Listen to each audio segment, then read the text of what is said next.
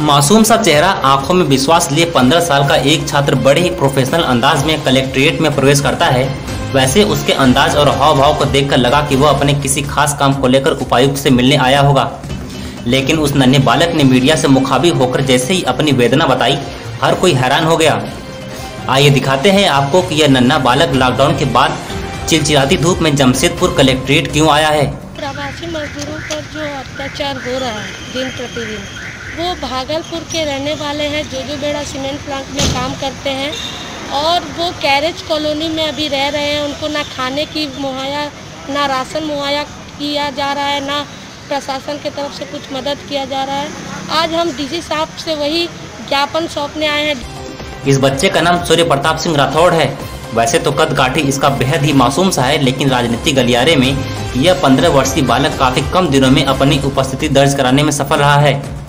जमशेदपुर पूर्वी की विधायक सरयू राय का अनन्य भक्त सूर्य प्रताप सिंह राठौड़ हाल ही में संपन्न हुए झारखंड विधान चुनाव के दौरान चर्चा में आया है, जहाँ चुनाव के दौरान यह बालक जमशेदपुर पूर्वी के लिए सरयू राय के प्रचार टीम का हिस्सा रहा था। भले ही आज की तारीख में विधायक इस बालक के, बालक को नज़रअंदाज कर रहे हों, लेकिन इसके अंदर के जुनून को आप भी देखकर हैरान हो जाएँगे। बात करने हैं कि इन मजदूरों पर अत्याचार नहीं होना चाहिए। इतनी कड़ी धूप में वो कड़ी मेहनत करके अपना रोजी रोटी का काम करते हैं, बाहर से आकर के शहर में काम करते हैं तो ऐसा नहीं होना चाहिए। मजदूर वर्ग को ज़्यादा इतना रुलाना नहीं चाहिए और यही हम लोग डी साहब से आज मांग करने यहाँ पर पहुँचे हैं। जमशेदपुर पूर्वी विधानसभा के बर्मा माइंस कैरेज कॉलोनी में बिहार के भागलपुर के प्रवासी मजदूरों का मामला लेकर यह नन्ना बालक पहले विधानसभा विधायक सरयू राय के पास गया, लेकिन विधायक ने भाव न दिया। फिर यह पहुँच गया कलेक्ट्रेट और लगा दी उपायुक्त के यहाँ उन मजदूरों को सकुशल बिहार भिजवाने की। भले उपायुक्त इस मासूम की अर्जी को नजरअंदाज कर दें, लेकिन यह नन्हा बालक ने ठान लिया है कि जब कोई साथ न दे तो अकेला चलो।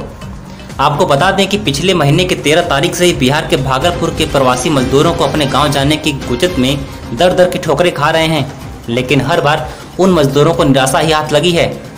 प्रशासन की ओर से इन मजदूरों को तेल का खर्च वहन करने को कहा गया है, जिसके बाद मजदूरों ने वापस गाँव जाने का नाम ही लेना छोड़ दिया। जहाँ सोचिए पिछले दो महीने से जिन मजदूरों के हाथ काम नहीं लगा है, जो मजदूर दाने दाने को मोहताज हैं, उनसे प्रशासन पैसों की मांग कर रहा है।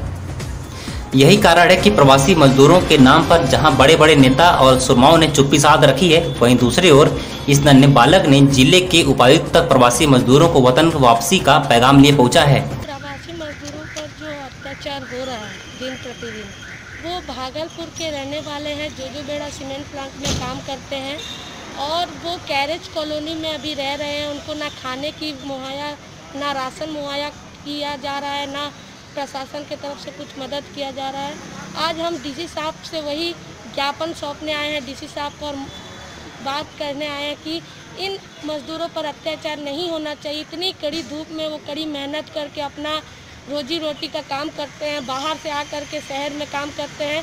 तो ऐसा नहीं होना चाहिए। मजदूर वर्ग को ज़्यादा इतना रुलाना नहीं चाहिए और यही हम लोग डीसी साहब से आज मांग करने यहाँ पर पहुँचे हैं। वहाँ का जुगसलाई नगर पालिका बोलता है कि लोगों को कि आप, हम प्रशासन बस की सुविधा मुहैया करवा देगी और मजदूर वर्ग जो है आप तेल का खर्चा दें।